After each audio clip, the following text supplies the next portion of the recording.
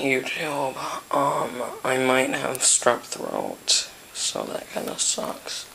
But, um, this morning I found beetles in my pupa jar, and I decided that it was time to upgrade. So I got a little three chamber thingamajigger, and in our first chamber is the mealworms. And there's actually a pupa right there. I need to get that out. And in our second chamber are the pupae. And uh, just like Spile 45, I've got this little uh, cup right here uh, for the ones that are fixing to turn into beetles. And then in our last chamber, we've got the beetles.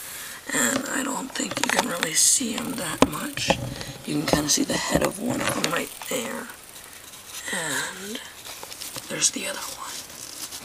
So, um, I hope y'all enjoyed the video. Go up there to subscribe, view my channel, see other videos and stuff, and just comment and rate on those other videos. And go down there to see, uh, to comment and rate. And, um, I should be having some videos up soon about more beetles. And also, um, in case y'all are wondering how long it took, um, it took about a week for me to find my first mealworm pupae. And then after that, I just started finding like two to four every day.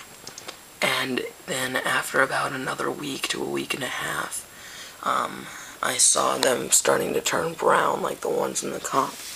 And then like three days after that, I have two beetles, and I'm fixing to have two more, so I hope y'all enjoyed that.